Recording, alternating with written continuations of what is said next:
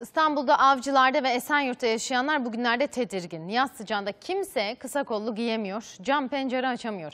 Özellikle çocuklu aileler korku içinde. Kabusun adı batın il ateşi virüsü. Sivrisinekten bulaşıyor.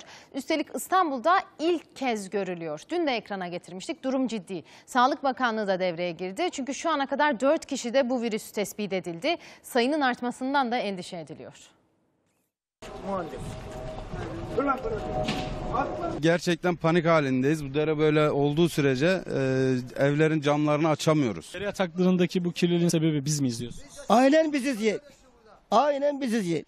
Kendimiz atıyoruz ya. İstanbullular tedirgin. Avcılar ve Esenyurtlular acil servislerin kapısında. Korkunun nedeni işte bu dereden insanlara batınil virüsü taşıyan sivrisinekler. 7'den 70'e Yeşilkent Mahallesi'nde yaşayan herkes oldukça panik içerisinde. Çünkü İl Sağlık Müdürlüğü yaptığı incelemeler sonucu avcılardan Esenyurt'a uzanan bu dere yatağının aslında Batı Nil virüsünün ana kaynağı olduğunu belirledi. Çünkü buradan üreyen sineklerin vatandaşa temas etmesi sonucu virüsün bulaştığını belirledi. Nadir de olsa ölüme sebep olan virüsle ilgili Sağlık Bakanlığı da devrede.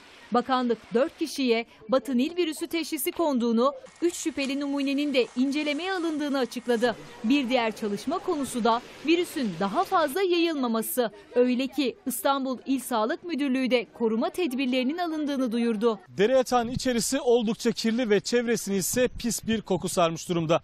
Aileler çocuklarını dereden uzak tutmaya çalışsalar da aslında bu pek mümkün olmuyor. Çünkü dere yatağıyla evler arasında sadece birkaç metre var. Adam balkonuna atıyor dereye. Ondan sonra sinek var, böcek var.